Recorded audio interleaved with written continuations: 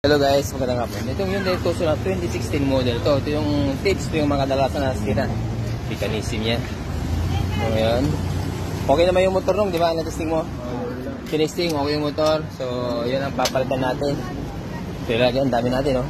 So, para may idea kayo. Yan, ito yung ilalagay natin. Oh, tinan mo nga. Okay. Ayan, no? Na.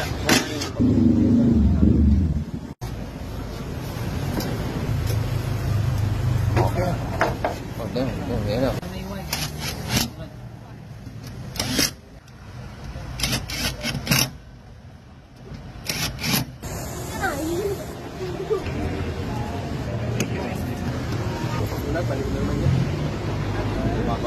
Parang ginawa.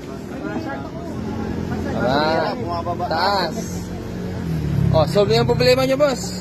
Ang kadalasan na nasira mga kababayan. So, mayroon tayo. Ang dami natin yan, no? Ang dami natin. Ayun, no? Oh, yan. Tapos sa likod, mga sandaang piraso pa yung ganito natin. Okay? Ah, Hyundai Tucson na 2016 model. Okay na ba? Parang ginawa na? Taas. Okay, so alright na yan.